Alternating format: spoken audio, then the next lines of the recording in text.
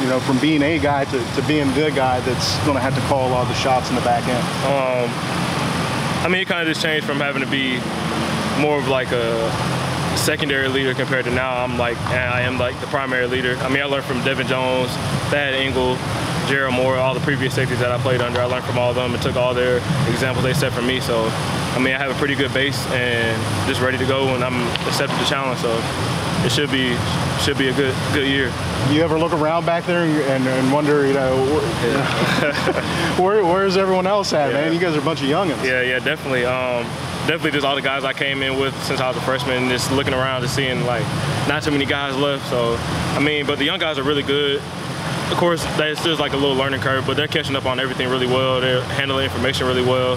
They're listening really well. So, I mean, everything's going really good. I say we're probably ahead of where we probably, people probably think we are, or where our coaches probably thought we were. So I think everything's going really good. So you feel some of the young corners, some of those young yeah. safeties have yeah. developed I mean, that you know, uh, ahead of schedule just a little yeah. bit. I mean, I know everybody has the doubts because we're inexperienced in the secondary, but I still, but I believe in our secondary, and I think that everybody came along really well, and I feel like everybody's ready to compete. It doesn't matter how many years of experience you have. If you can play, you can play.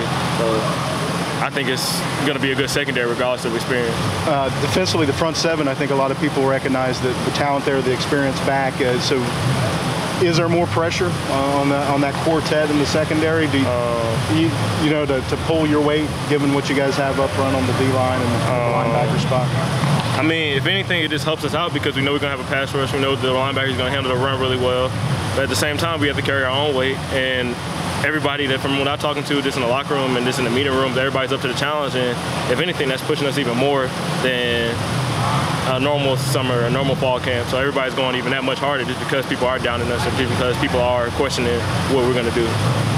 And you're defensive back. There's pressure every play. Right. Yeah. Right? And yeah, next play anyway. Pass, so. pass or fail. Yeah. Yep. Yep. Yep. But uh, I mean, we made a lot of plays the whole fall camp, and then the corners are coming along well, making PBUs, interceptions every day. So it's going really well.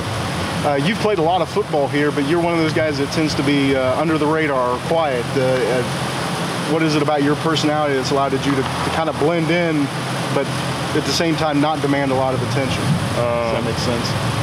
I mean, I that's just the way I, I guess that's just the way I am. I don't, I don't really know how to explain it. I mean, everybody makes plays. It's just whether you know you get your name called, you don't get your name called. But it's not about that. It's about just winning and helping the team win and just playing your role. So.